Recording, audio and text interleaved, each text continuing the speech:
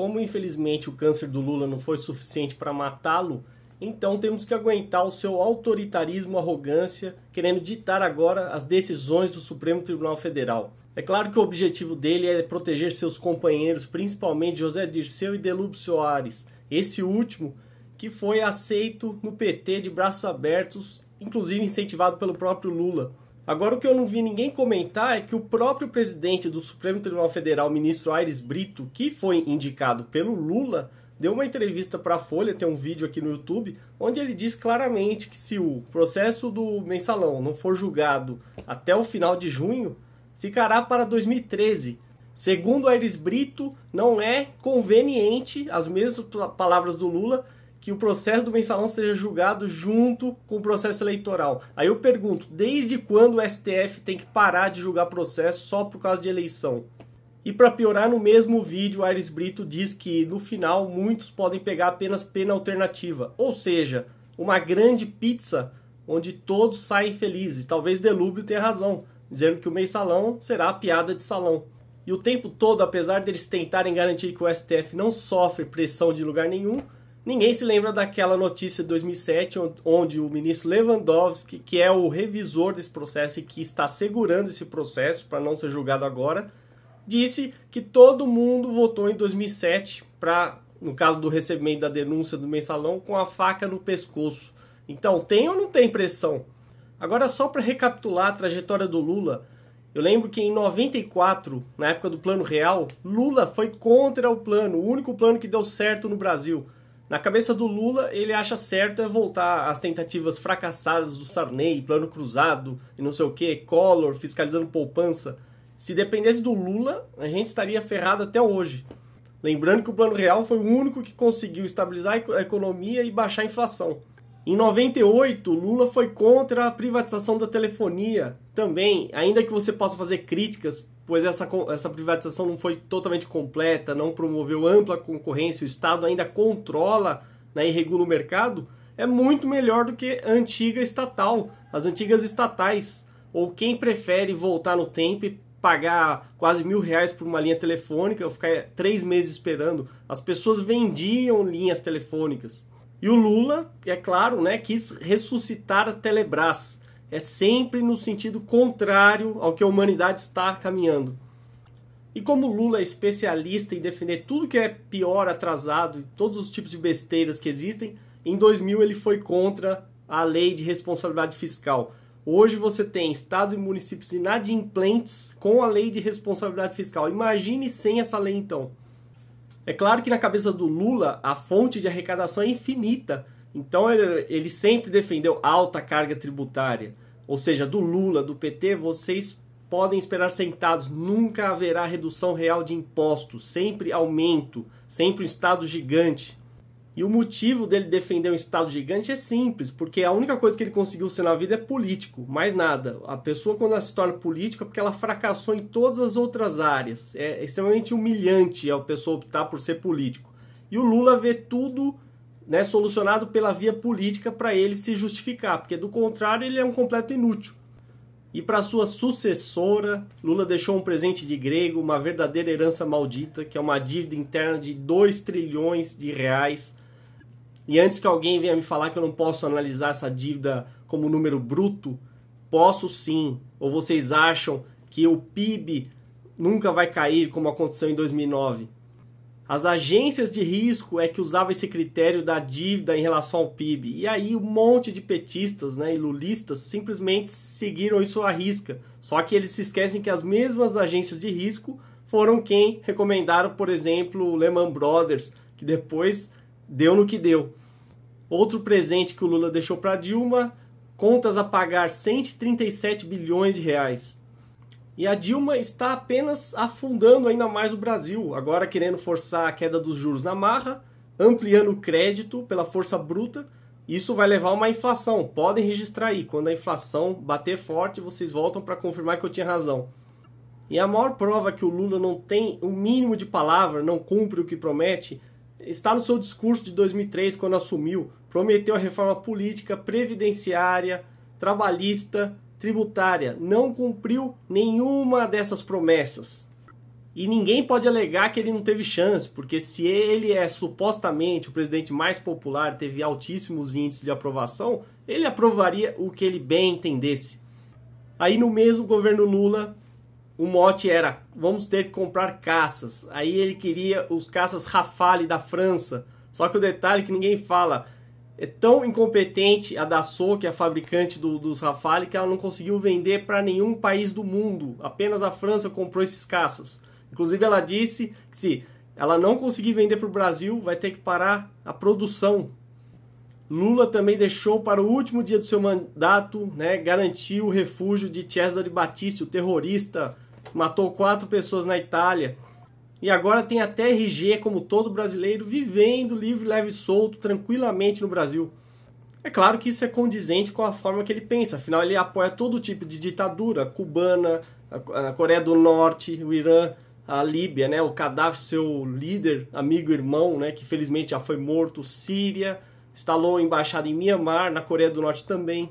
E toda aquela mentira do Fome Zero, aqueles programas assistencialistas, não resultaram em nada. 17 milhões e meio de miseráveis, 14 milhões de analfabetos. E o Bolsa Família, por exemplo, não tem porta de saída. As pessoas continuam dependendo desse programa e o programa continua aumentando o número de beneficiários. Olha esse dado. Hoje, 3 em cada 10 brasileiros, 30% da população depende de esmola ou esmola governamental. E depois ainda tem gente que fala em milagre econômico. Outra coisa que o Lula sempre falou de boca cheia, os petistas repetem, é que o Brasil pagou a dívida com o FMI. E muitas vezes, por desonestidade intelectual, eles dizem que pagou a dívida externa, que é uma grande mentira. A verdade é que eles trocaram uma dívida com o FMI, que poderia ser paga a um prazo muito maior a juros menores, por uma dívida interna a ser paga a um prazo menor a juros maiores. Ou seja, só poderia sair da cabeça do Lula. E para qualquer um, basta ir no site do Banco Central e consultar o atual valor da dívida externa, 297 bilhões de dólares. Somente o Lula é capaz de aumentar o número de funcionários para o dobro de funcionários que o Obama tem, ou seja, mente de megalomaníaco. É um sujeito que não tem o menor apreço, né, o cuidado, o zelo com o dinheiro público, afinal, TCU já fez diversos alertas sobre obras do PAC, obras superfaturadas da Petrobras, inclusive, que Lula mandou seguir.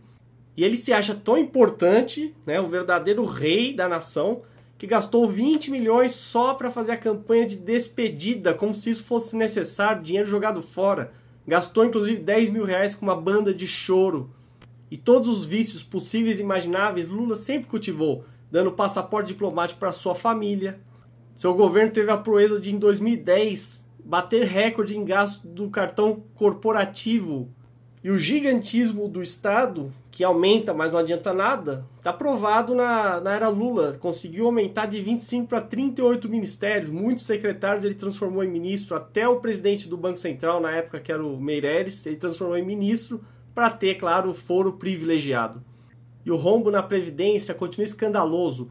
Ano passado, por exemplo, o governo teve que despender 40 bilhões de reais para pagar 28 milhões de funcionários privados, enquanto despendeu 50 bilhões de reais para pagar apenas 950 mil funcionários públicos, verdadeiros vagabundos.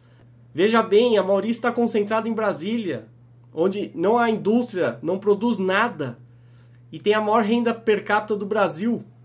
É isso que o Lula defende. Um bando de parasitas inúteis sustentados com esforço com o seu trabalho, trabalho do Brasil inteiro.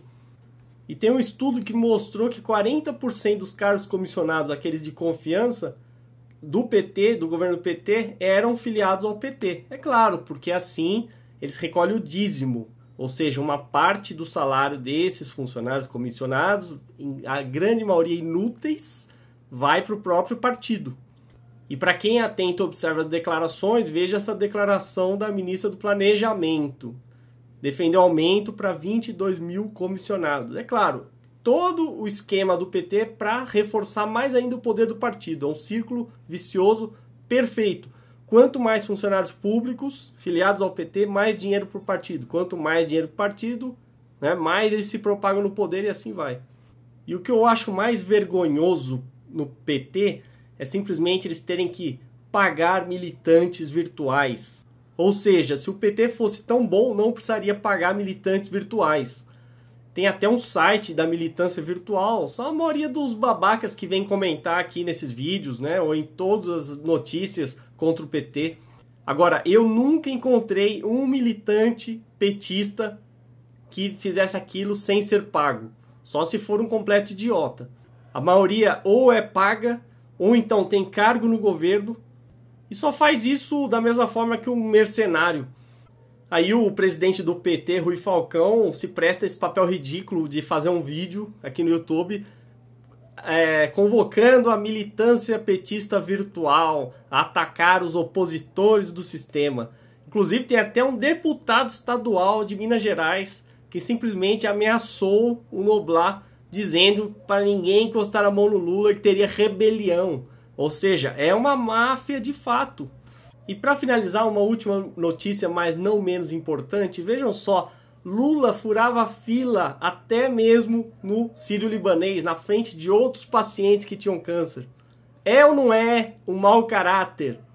Desonesto, autoritário, demagogo, populista, um verdadeiro crápula que infelizmente o Brasil, ou boa parte dele, supostamente ainda elogia. E a Dilma, que é apenas um fantoche do Lula, tá continuando todo, tudo que o Lula iria fazer se tivesse um terceiro mandato. Agora estão cobrando, olha a invenção, até imposto lá na Amazon direto na hora da compra. Ou seja, querem arrancar dinheiro seu a qualquer custo. Estão fiscalizando absurdamente nos aeroportos. Ou seja, estão prejudicando totalmente o consumidor. É isso que o PT vai fazer. Ele quer transformar o Brasil ou numa Coreia do Norte ou numa Cuba. É por isso que um país de Lula, com muitos Lulas apoiando, não vai para frente. Eu duvido que algum petista que tenha assistido até agora admita né, e mude de ideia o seu posicionamento. É isso que os militantes virtuais petistas fazem. É gente sem a menor qualificação e gente que não tem a capacidade, isso eu deixo o desafio aqui, de fazer um vídeo contestando o que eu falei. No máximo o que eles vão fazer é deixar um comentáriozinho ridículo né, produto de copy and paste já pré-programado e só, porque cérebro vocês não têm, nem para questionar, nem sequer para pensar. Então é isso, somente o câncer salva. O dia que o Lula morrer, talvez o Brasil acorde e pense sobre o nefasto legado que Lula deixou, que nem sequer o mais nefasto, perverso, sádico, cineasta de filme de terror que existe poderia imaginar, sequer em sonho.